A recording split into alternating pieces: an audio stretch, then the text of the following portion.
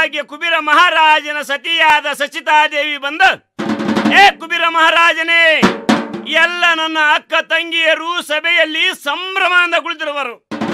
ನೀನು ಇಲ್ಲಿ ಚಿಂತಾ ಭ್ರಾಂತನಾಗಿ ಕುಳಿತುಕೊಳ್ಳಲು ಕಾರಣವೇನೆಂದು ಕೇಳಲು?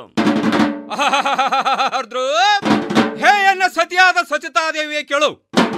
ಪಾರ್ವತಾದೇವಿಯು ಒಂದು ಗುಂಜು ತೂಕ ಭಸ್ಮವನ್ನು ತೆಗೆದುಕೊಂಡು ಬಂದು ನನಗೆ ಅದರ ತೂಕ ಬಂಗಾರವನ್ನು ಕೊಡುವಂತೆ ಆ ಆವಾಗ್ಯ ನಾನು ಈ ಗುಂಜಿ ತೂಕದ ಭಸ್ಮದ ತೂಕ ಬಂಗಾರವನ್ನು ತೆಗೆದುಕೊಂಡು ನೀನು ಅಥಾವ ಆಭರಣಗಳನ್ನು ಮಾಡಿಸಿಕೊಳ್ಳಬಲ್ಲೆ.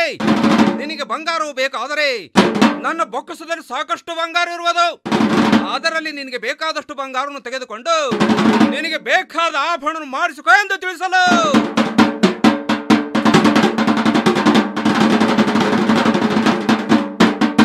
ಅದಕ್ಕೆ ಪಾರ್ವತಾ ದೇವಿ ಒಪ್ಪಲಿಲ್ಲ. ಆದ್ದರಿಂದ ನಾನು ಚಿನ್ನವಾದ ಮನೆಯಿಂದ ತಕ್ಕಡೆಯನ್ನು ತರಿಸಿ, ಎಡ ಪಡೆಯಲ್ಲಿ ಭಸ್ಮದ ತುಕಡೆನಿಟ್ಟು, ಬಲ ಪಡೆಯಲ್ಲಿ ನನ್ನಲ್ಲಿರೋ ಬಂಗಾರವನ್ನು ಹಚ್ಚಲು.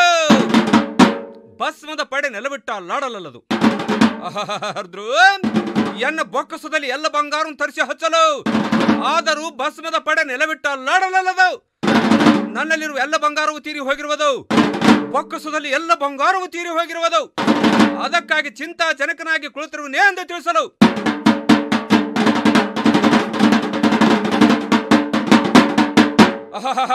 ಅರ್ದ್ರು ಆಹಾರ ಸರ್ಪ ಆವಾಗ ಸಚಿತಾದೇವಿ ಹೊತ್ತಾಳೆ ಪತಿಗೆ ಬಂದ ಚಿಂತೆಯಲ್ಲಿ ಸತಿಗೆ ಅರ್ಧ ಭಾಗ ಬರೋದಂತ ತಿಳಿಸಲು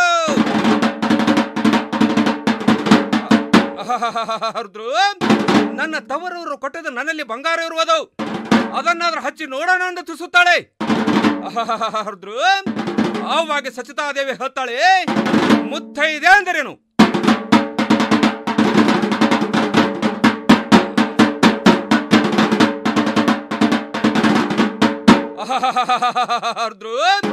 ಹಸುರು ಸೀರೆ ಹಸುರು ಕುಬ್ಬ ಬಳೆ ನಿಟ್ಟು ಕಾಲಲ್ಲಿ ಕಾಲುಂಗರವನ್ನಿಟ್ಟು ಕಿವಿಯಲ್ಲಿ ಓಲೆಯನ್ನಿಟ್ಟು ಹಣೆಯ ಮೇಲೆ ಕುಂಕುಮವನ್ನು ಧರಿಸಿ ಕೊರಳಿಗೆ ತಾಳಿ ಬಂದಾಗ್ಯ ಮಾತ್ರ ಮುತ್ತೈದೆ ಎಂದು ನಾಮಕರಣವಾಗುತ್ತದೆ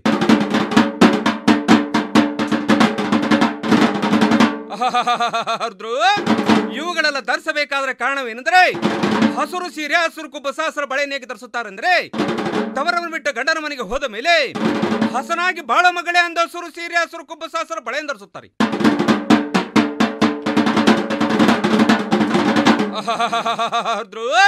ಕಾಲಲ್ಲಿ ಕಾಲುಂಗರವನ್ನೇಗೆ ಧರಿಸುತ್ತಾರೆಂದ್ರೆ ತವರಲ್ಲಿ ಹುಟ್ಟಿ ಬೆಳೆದು ದೊಡ್ಡವಳಾಗಿ ತಂದೆ ತಾಯಿಗಳ ಮಾತನ್ನು ಮೀರಿ ಒಮ್ಮೆ ಹಠ ಬಂದಾಗ ಭಚ್ಚರವರಿಗೆ ಕಾಲಿಡುತ್ತಿದ್ದೆ.